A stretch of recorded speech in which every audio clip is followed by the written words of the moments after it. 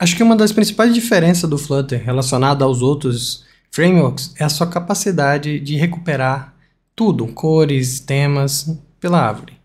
Isso facilita muito o nosso trabalho.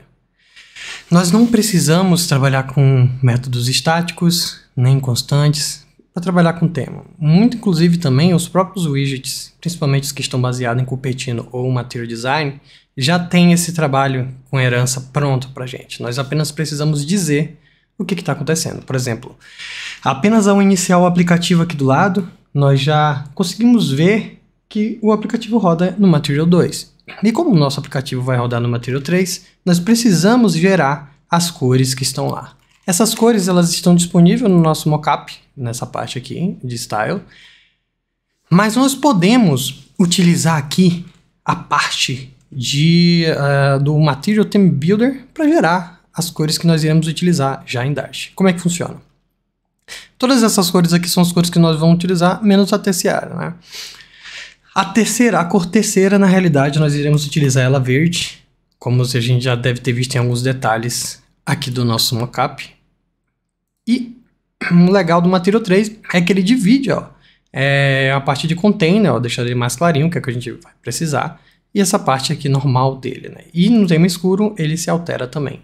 Então vai ser dois temas que vão ser gerados para a gente automaticamente. Para exportar esse tema como forma de código, nós clicamos aqui na parte superior direita, aqui em flutter.dart. Ele vai baixar um ponto zip do tema. Nós iremos simplesmente abrir e extrair é, o, o tema para colocar nos nossos projetos. Então, ao ser extraído, nós temos essa pasta já com dois arquivos. O arquivo Color Scheme contém todas as cores relacionadas ao tema Light e o tema Dark. E o main, um exemplo de como que vai utilizar. Voltando para o nosso app, abrindo o nosso app novamente, nós podemos adicionar essa parte que nós acabamos de baixar para dentro do, do projeto. Opa, na realidade, eu estou fazendo até errado, né? Porque esse, esse carinha aqui, ele já está disponível na outra, na outra na outra parte de desktop do Windows. Então aqui para a gente ver os dois, vou jogar aqui os dois temas, ó. Então temos todas as cores pré-definidas e todas aqui a, e como definir no nosso Material App.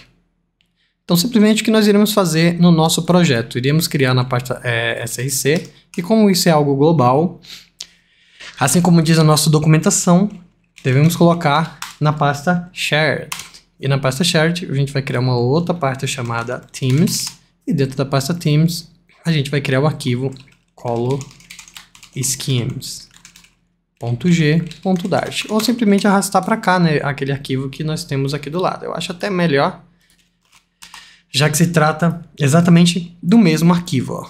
Jogando aqui, ó, temos as cores temas, a cor light, e o exemplo nos mostra que basta que a, gente é, a, use esses dois temas, coloque aqui o tema normal e o tema dark, essas instâncias de tema data, lá dentro do nosso main. Então, vou substituir esse tema data aqui pelo tema data diretamente da nossa aplicação. Bom, ao ser adicionado aqui nessa parte, nós já já vamos ter acesso à importação dos mesmos. Eu vou só colocar uma vírgula aqui para ele quebrar é o nosso código e ficar mais identado aqui para gente. E agora basta a gente importar uh, o arquivo que acabou de ser baixado. Se não aparecer para você, às vezes o, o, o VS Code dá uma bugada, principalmente se você está com vários processos ou seu computador não reinicia há algum tempo, você vai ter que manualmente dizer onde é que está esse cara. Mas não é problema algum, né? basta colocar na mão o import. Apenas ao fazer isso, nota que a nossa aplicação ela já está respondendo ao material aqui. Só para remover a parte do, do debug uh, show banner aqui. Então aqui, falso, nós temos uh, o aplicativo já com Material 3 no modo escuro. Por quê? Porque a minha aplicação, o meu computador, o tema dele padrão é tema escuro. E como eu estou rodando no Flutter Desktop, ele vai manter no tema escuro. Para a gente ver é, o theme mode, né, e mudar, a gente pode colocar aqui, ó, tema, é, theme mode, ponto light, e ele vai pro light, viu? Uma coisa legal também que nós podemos ter no tema é que nós podemos alterar cores de componente sem necessariamente precisar entrar é, nos componentes separadamente. Ó, por exemplo, nós temos aqui a nossa app bar que está com a nossa, uma corzinha mais clara.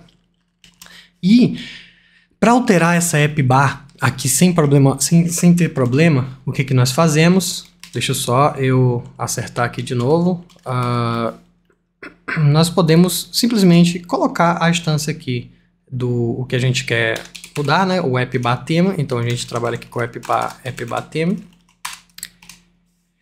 E através disso aqui, nós podemos mudar as coisas aqui da página. Por exemplo, eu vou colocar o nome que vai ser usado, a listinha. E uma das principais coisas que temos aqui é que esse texto ele é centralizado nós podemos centralizar ele aqui diretamente com aqui o center title. Botando como true, ele vai centralizar o texto aqui. Ó. Já tem uma parte interessante. Além disso, nós também temos que colocar o background para ficar com aquela cor específica que a gente está trabalhando. Se a gente for olhar aqui qual seria essa cor, né, é, qual seria essa cor que a gente vai trabalhar aqui, Olhando no Material Design, a gente sabe que, é, no caso, é o Primary Container. Então, como a gente já tem essa cor adicionada aqui, basta com que a gente coloque aqui no background o, a colo aqui, acessando diretamente pelo Light Color Schema. Então, pode aqui é, é, Primary Container, ele vai reclamar, porque esse camarada Cadê? Esse camarada ele tá como um const. E aí eu já não posso mais usar const porque isso aqui não é uma constante. Feito isso, olha só nossa app bar, ela já tá com a carinha do nosso mockup. Da mesma forma, se a gente alterar o tema dark, é, vai ficar diferente aqui a conotação. Então, nós precisamos fazer o app bar também aqui dentro do tema data do, do Dark Theme. Mas agora utilizando a cor, é, aqui é o esquema de cores do Dark Color Scheme. E aí nós vamos ter quase a mesma coisa também. Feito isso, pessoal, nós já temos quase tudo pronto. E só para ficar com uma ressalva interessante, nós podemos realmente fazer qualquer coisa aqui a nível de herança de temas. Podemos literalmente colocar qualquer coisa aqui. Então é recomendado que nós coloquemos aqui em vez de colocar esses temas diretamente na página que a gente for trabalhar. Porque aí todo mundo que for usar vai usar da mesma maneira. É interessantíssimo. Para tudo mesmo de verdade. Inclusive o float, float action button. Se, a gente, se você lembrar bem, no, no nosso mockup, o float action button ele não está respeitando um pouco é, o material 3, pois ele está colocando aqui embaixo o primary já com esse tema escuro. E é o que nós precisaríamos fazer também, já que mockup pad. Aqui no float action button, isso já, uh, no caso, só só serviria no Light, no, no, no, Dark não haveria essa, essa prerrogativa, né? Então aqui ele recebe um Float Action Multithema. Dentro desse camarada, nós iremos colocar um background color. E esse background color vai ser exatamente o light color, é, não o, o primary diretamente. Então, se você notar, ó, ele já alterou, só que o texto dentro dele não alterou, né? Ele já está é, ele ainda está preto. E nós podemos colocar branco também de qualquer maneira, né? Só colocar as cores, as cores do que, que nós precisaríamos trabalhar, os, no caso os ícones aqui, o hover color, o icon size, tudo nós podemos modificar através dessa herança, tá? Alterando aqui a cor, deixa eu ver se essa carinha vai pedir aqui. Provavelmente não, né? Então, eu acho que a única coisa que é Extend Text Style, Extend Income Label, Spacing, Extend Padding, Extend Constraint, nós podemos de fato fazer qualquer coisa nessa, nessa ideia aqui. Foreground Color, né? Color.white aqui, ó, você ver, ó. Ele, ele representaria as cores que estavam, que seriam posteriormente, né? Que seriam usadas depois. Isso aqui muda já para branco. Então todo o, o, o float button não preciso me preocupar com cores, ele vai ser herdado aqui. O meu data não precisa, por isso que ele vai ser mantido dessa forma. Para é, ter realmente uma organização, nós iremos criar um arquivo aqui chamado tm.dart, temes né, no plural, que a gente vai ter os dois, e passar esses dois caras lá para dentro. Isso vai ser apenas para organização. Aqui nós iremos chamar o cara de Dark Team.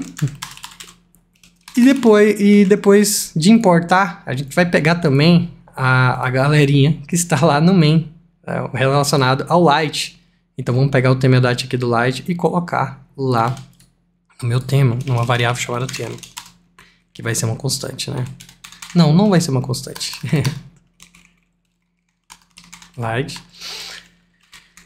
Espero que eu tenha escrevido certo, porque light realmente é a minha, é minha bola de prata. Eu não consigo escrever light direto, de, direito. Será que está correto? Provavelmente tá, tá correto. Legal. Então aqui basta eu colocar aqui a variável, né, que eu vou trabalhar, junto também com a do Dark Team. Isso aqui para facilitar a construção uh, da nossa, do nosso aplicativo. Fica visível quando a gente precisar alterar na arquitetura gritante, basta a gente enxergar que é uma coisa global e trabalhar aqui com o tema. Mas apesar de, que, de ser global, nós iremos utilizar sempre uh, a herança para buscar as coisas relacionadas a tema, né? E não fazer as coisas uh, pegando diretamente do color aqui. Por isso que eu sugiro fortemente que esses dois arquivos, esse color schema, ele não tenha a visualização desses dois caras, para evitar que o usuário possa fazer isso. Então, eu recomendo que vocês coloquem é, esse valor dessas constantes privadas. Mas como que nós iremos acessar dentro do Dart Theme aqui? Sendo que é necessário que é, tenha o acesso privado desse camarada aqui, ele já já vai quebrar, né, dentro do... Por causa que esse cara aqui agora, ele é... Esses dois eles são privados. Ah, eu alterei o outro, né? Eu não alterei, eu devo ter alterado o de fora lá. Então deixa eu alterar o nosso aqui. No momento que eu botar privado aqui, ó, ele vai quebrar. E como que nós fazemos para ele é, apenas visualizar esse core schema aqui, ó, mesmo sendo privado, em um arquivo separado? Basta a gente usar o, em vez de colocar o import, nós, nós dizemos que esse arquivo ele é parte do outro arquivo ali. Então, para usar aqui a, a, a, a, esquema de parte, basta escrever parte, o nome do arquivo que uh, seria a parte desse aqui, colo, colo scheme .g.dart.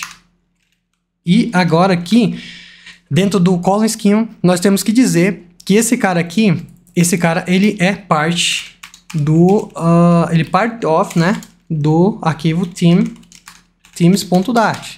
Com isso, os dois, eles meio que se unem, é um ao outro. Então, é como ele, ele é um arquivo só, dá para ter aquela ideia de que os dois eles são literalmente um arquivo só, portanto a parte do privado vai funcionar para esse cara aqui também.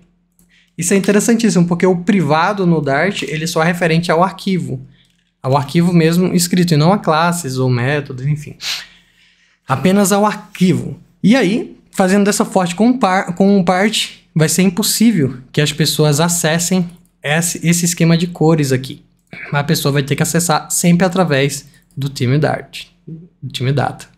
Você pode fazer a mesma coisa com isso aqui dentro do main, isso aí talvez poderia é, facilitar mais ainda. Mas tudo isso que nós estamos fazendo é justamente para colocar um limite. E esses limites vão ser importantíssimos para que o teu aplicativo tenha uma vida útil maior. Coisas simples, decisões simples e bobas como essa, vai fazer com que os usuários é, ou os seus parceiros de programação não façam gambiarras baseado no, na facilidade e aí complica o aplicativo lá na frente pensando em, em fazer um, um, resolver um problema rápido aqui no começo. Bom, já que a gente tem agora então essa parte definida aqui, se eu criar aqui o app widget e aqui nesse app widget a gente colocar uh, esse main aqui, esse, esse main app, que eu vou até alterar o nome dele para app widget mesmo, porque diz mais do que, do que, que ele se trata, nós podemos seguir a mesma ideia. A mesma ideia do privado ali do parte do, do parof. Só que todos eles vão ser parte desse camarada. Isso se você quiser fazer. Eu vou deixar como desafio é, para os senhores para saber o, o que, que vocês preferem, né? Se vocês querem realmente, de fato, tornar é, invisível até mesmo a, a, visualização desse tema aqui e o único acesso vai ser através das, da, da parte de tema, da parte de tema.off, tema a parte de herança do próprio Flutter.